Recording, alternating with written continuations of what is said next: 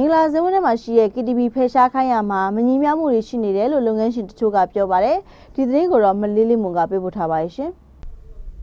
1990နောက်ပိုင်းကစပြီးစီပင်ကမြေဆိုင်ပြီးလုတ်ပိုင်ခွင့်ရထွေအုပ်ဘက်ကဖျော်ဖြေရေးလုပ်ငန်းလိုင်စင်တွေလုပ်ခွင့်ပေးခဲ့တာလို့စီပင်ဌာနကသိရပါဗျ။လက်ရှိစာချုပ်တတန်းရအနှစ်20လောက်ကျန်နေတဲ့သူ KTV အစားလုပ်ငန်းပြောင်းခွင့်ရဖို့အတနာခန်းစာတင်ထားတဲ့ KTV ပိုင်ရှင်တယောက်ကလည်းသူတို့တွေကိုပဲ ကွက်ပြီးဖယ်ရှားတာဖြစ်တယ်လို့ဆိုပါတယ်။ဒါရေရှည်စီးပွားရေးဟိုရင်းနှီးမြှုပ်နှံတာနဲ့လုပ်ငန်းတစ်ခုဖြစ်နေတယ်။အဲ့တော့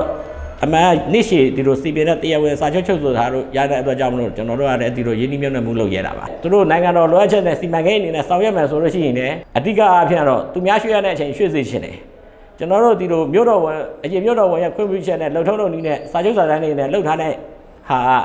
ဖယ်ရှားရမယ်ဆိုလို့ရှိရင်ကျွန်တော်တို့အောက်ထပ်မှာရှိတဲ့ဈေးဆိုင်ခန်းတွေတောင်မှဒီလိုလှုပ်ထုံးလုပ်နည်းစာချုပ်စာတမ်းတွေတောင်ရှိမှာမဟုတ်ဘူးလို့ကျွန်တော်ယူဆတယ်အငားချသဘောတူစာချုပ်အရအချက်ပေါင်း23ချက်နဲ့9နှစ်တစ်ကြိမ်ပြင်ဆင်တဲ့စာချုပ်ချုပ်ဆိုကြပြီးအနှစ်20အထိစာချုပ်ချုပ်ခဲ့ကြပါတယ်။ငါးရန်စာချုပ်တက်တမ်းမပြည့်ခင်နိုင်ငံတော်လိုအပ်ချက်စီပင်လိုအပ်ချက်အရပယ်ဖြတ်ပေးဖို့အငားချခံထားသူတွေရဲ့တာဝန်ထဲမှာသဘောတူထားတာကြောင့်ဖယ်ပေးရမှာပါ။ဒါပေမဲ့သဘောတူစာချုပ်အချက်21မှာတော့ အကျိုးသက်ရောက်မှုအရအရင်ကရန်ကုန်တိုင်းပြည်ထောင်စုကြံ့ခိုင်ရေးနဲ့ဖွံ့ဖြိုးရေးအသင်းရဲ့ငှားတဲ့လုပ်ငန်းရှင်တို့ကြားချုပ်ဆိုခဲ့တဲ့စာချုပ်တွေအားလုံးကိုစာချုပ်အရလွှမ်းမိုးပယ်ဖြတ်ကြောင်းစာချုပ်မှာဖော်ပြထားတာကြောင့်လက်ရှိပြည်သူအစိုးရအနေနဲ့ပြန်စင်းစားဖို့လည်းလုပ်ငန်းရှင်တယောက်ကပြောပါတယ်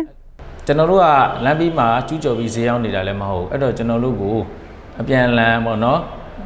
ဟိုလေးစားနားလည်မှုနဲ့တွေ့ဆုံညီနိုင်ပြီးရင်ကျွန်တော်အများကြီးကျင့်တတ်မှာပါ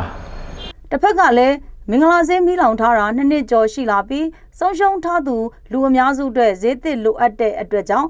KTV လုပ်ငန်းရှင်တွေကိုဖယ်ရှားခိုင်းရတာဖြစ်တယ်လို့မြို့တော်စီပင်ကော်မတီဝင်ဒေါ်တန်းမြင့်အောင်ကလည်းမြစ်တာရက်ခံစကားပြောပါတယ်။လှုပ်ဆောင်ရမယ့်လုပ်ငန်းတစ်ခုဖြစ်တဲ့အတွက်ကြောင့်မို့လို့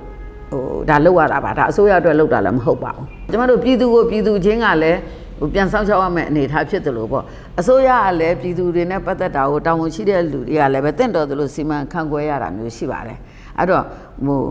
ဘ누구မှလည်းမဖြစ်စေချင်ပါဘူးသို့တော့အခိုက်အတန့်ဖြစ်တဲ့အတွက်ကြောင့်မို့လို့ဒါလေးကကိုညီတင်တယ်လို့လည်းကျွန်မထင်ပါတယ်အဲ့ဒီလုပ်ငန်းရှင်တွေကို KTV လုပ်ငန်းရှင်တွေလည်းကျွန်မမြတ်တရခံကြပါတယ်အရင်တည်းကမင်္ဂလာဈေးအတွင်းကစီပီမိုင်မြေတဲ့ငှားရမ်းထားတာတွေမှာအရင်မြို့တော်ဝင်ဟောင်းတယောက်ရဲ့သားနဲ့ဆိုင်နဲ့ဖြောပြရေးလုပ်ငန်းစစ်ဆိုရလက်ထက်ကငញ្ញမ်းရေးအဖွဲ့ရဲ့ကလပ် အရင်ပို့ဆောင်ရေးဝန်ကြီးဟောင်းတယောက်ရဲ့သားနဲ့ဆိုင်တဲ့တဲခုကန်းနဲ့အခြားလုပ်ငန်းစတာတွေကိုငှားရမ်းထားတာပါဒါအပြင်အခုချိန်အားချင်းဖယ်ရှားမှုနောက်ွယ်ဖြစ်ရတဲ့တစ်ခုကတော့အာဏာရှိသူတွေဖျော်ဖြေရေးလုပ်ငန်းအစားအခြားလုပ်ငန်းပြောင်းပြီးမှကြန့်ရှိတဲ့တာမန်လုပ်ငန်းရှင်တွေကိုစတင်ဖိအားပေးရတာဖြစ်တယ်လို့လည်းလက်ရှိဖယ်ရှားခံသူတယောက်ကဖြစ်ဆိုပြောဆိုထားပါတယ်။ကျမလေးလေးမော်ပါ